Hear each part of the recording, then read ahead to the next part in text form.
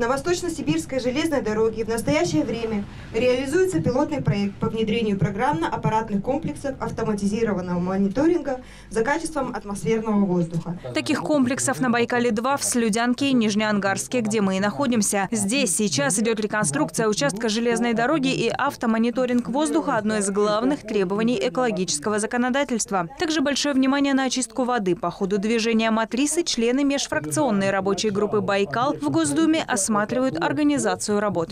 Вода, э, значит, с железной дороги э, на площадь, э, на рельеф не выходит и, соответственно, не попадает в Байкал.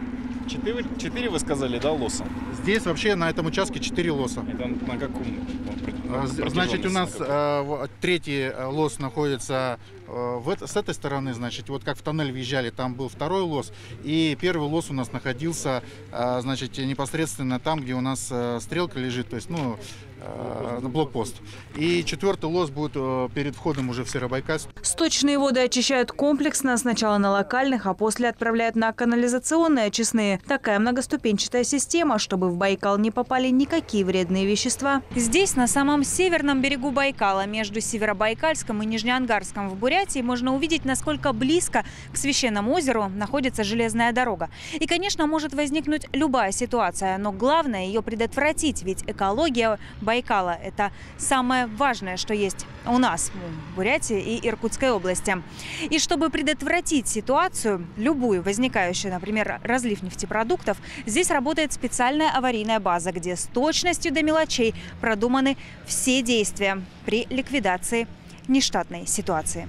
Новое техническое оснащение, современные лаборатории, обученные сотрудники – важная составляющая базы. И место ее дислокации выбрали не случайно. Зона ее работы определена. Расстояние 330 километров – это э, водосборная площадь озера Байкал. Значит, находится несколько серьезных рек. На данном протяжении э, железной дороги находится более 426 гидротехнических сооружений, в том числе крупных мостов, 16 э, от 100 метров до 366 э, метров.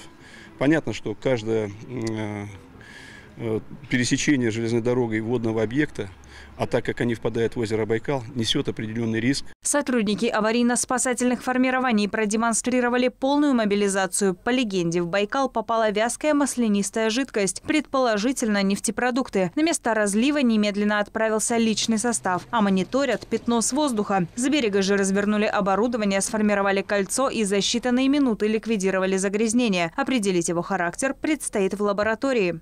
Эта работа позволяет нам обеспечить самые высокие стандарты Э, и выполнить любые требования, какие существуют сегодня в законодательстве экологическом нашем Российской Федерации. Кроме того, РЖД на объектах модернизации и строительства высаживает полномерные саженцы деревьев, чтобы устранить ущерб от сплошных рубок, которые в этой части необходимы для работ на БАМе и Транссибе. И если на этой стороне Байкала безопасность обеспечена, то на берегах в Иркутской области есть куда более серьезная проблема – сели и оползни. Созрела ситуация для э, селепроявления на Байкале. Это наиболее напряженный участок Амардабан.